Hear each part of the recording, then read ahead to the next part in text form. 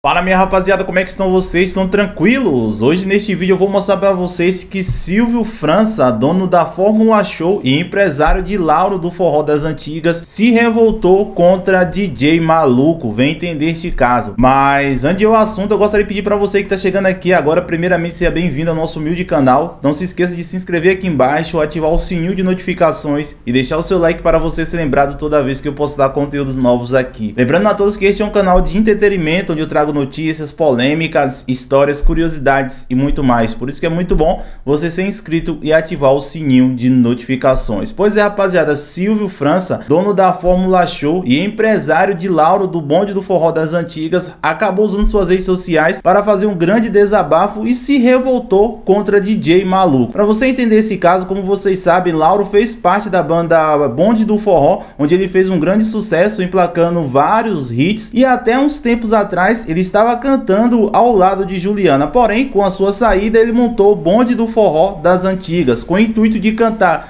músicas que fizeram bastante sucesso em sua voz nos seus shows e também de gravar músicas novas. Porém, dá para ver nitidamente através de uma de suas redes sociais, ele mostra às vezes seu desconforto, onde segundo ele, DJ Maluco vem tentando lhe boicotar em alguns eventos.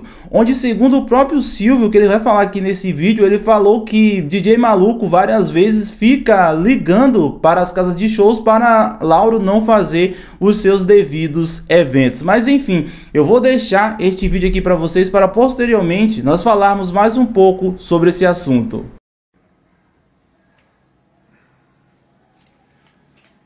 Olá, meus amigos.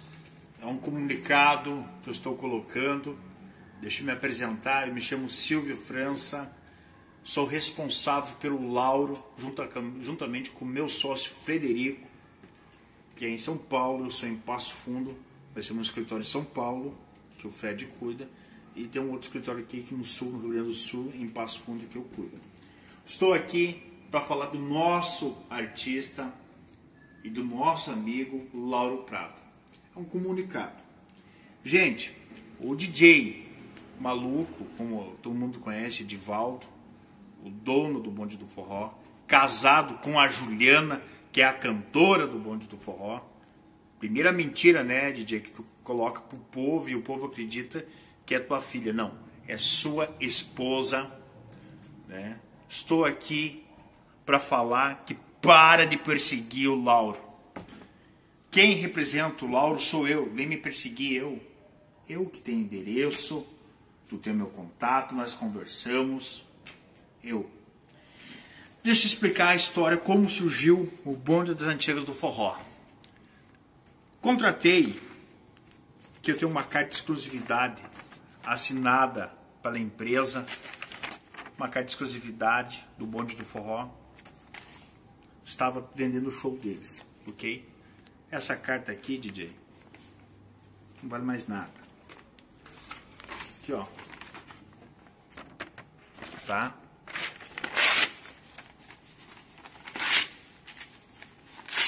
Uma coisa que minha mãe me ensinou, DJ, é ser homem e cumprir a palavra. Essa carta aqui não existe mais. Vendi vários shows do Bonde do Forró. Era o meu sonho trabalhar com o Bonde do Forró. Realmente, né, gostaria de trabalhar e conseguir com meu amigo sócio hoje, o Fred. Vários shows que eu fiz. Vários shows. Aqui os contratos, tá? pagamento, sabe, ó. Pagamento para Juliana dos Santos, que é a mulher do DJ, que é a Juliana, sabe? Tudo cartol, tudo registrado, tudo, sabe? Tudo certinho. Não devo um real pro bonde do forró. Não devo um centavo pro bonde do forró. Então a gente vendo esse cenário da Juliana cantando, sensualizando, e é uma mulher bonita, canta muito bem, estava deixando de lado o Lauro. O Lauro tem uma uma personalidade própria de cantar, né? E a gente falou, vamos montar um projeto. Veio a pandemia, parou tudo os shows. Falei, Fred, vamos montar o nosso projeto. Vamos fazer bonde dos antigos do forró. Por que vender outros artistas se a gente pode ter o nosso? É assim, tu vai entrar como sócio, vamos trabalhar junto. Entrou. Comuniquemos o, o DJ, eu já não estava mais representando o bonde. E foi comunicado o DJ que o Lauro não era mais. Está aqui o pedido. Eu fiz o pedido na data. Está aqui, ó. O pedido. Taxa Federal do NNPI, tal, tal. Aqui o pedido que eu fiz, ó. Do bonde das antigas do forró. Tá aqui, ó. Tá aqui, ó. Sabe? Tá aqui. Não preciso ficar mentindo, DJ. Não fiz, sabe? Tá aqui. A S França Eventos entrou entendeu? Para fazer o pedido do nome. É um cara que não dá para entender por que perseguiu o Lauro. Para de perseguir o Lauro, persegue eu aqui, porra. Eu aqui, ó. Vem em cima de mim. Não em cima do coitado lá que tá sustentando a família dele, rapaz. Comecemos a fazer um showzinho na pandemia, que não pode, né, com limitação de público, para o Lauro sustentar a família dele. Porque o senhor DJ abandonou os músicos, abandonou todo mundo, só encheu a barriguinha dele e o resto, né? O senhor não gosta de fazer vídeo, DJ? Então tá aí o vídeo.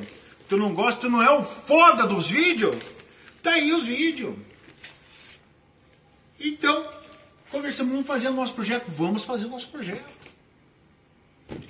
Começou, vou botar um print aí, o DJ maluco ligar para as casas não, que tá um processo. Ele montou outro bonde das antigas. Botou a filha dele, que não sabe cantar, e mais um outro rapaz, não sei quem é, e montou um outro.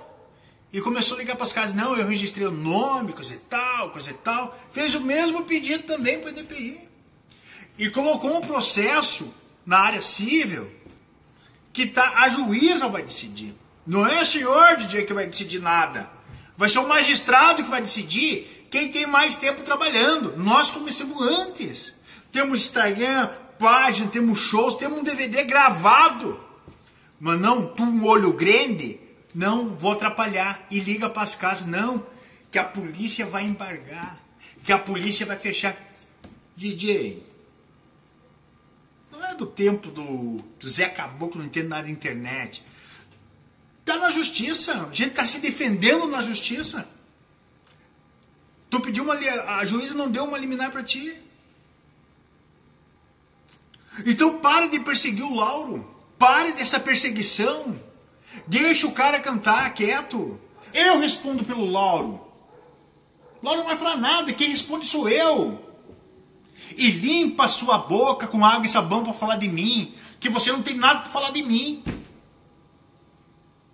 Tu não tem nada para falar de mim. Então, esse comunicado que eu estou falando para todo mundo, quem podia compartilhar, compartilha. A gente está firme e forte, temos na justiça, mas é a justiça que vai decidir quem vai ficar com o nome. E não você, DJ. Pare de ficar ligando para as casas, ah, que não sei o que, que não sei o que. O maior mentiroso, o maior clonador de bandas foi você. Ou o senhor não lembra do seu passado? Ou Deus ah, te perdoou? Me poupe, né, DJ? Me poupe. Me poupe com as tuas palavras. Me poupe. Tu tem o meu contato, nós conversamos diariamente. Conversamos ontem, ontem, ontem. Né? Para de perseguir o Lauro, cara. Persegue eu, cara. Persegue eu aqui. Eu tô pronto pra batalha. E eu não fujo. E eu não fujo.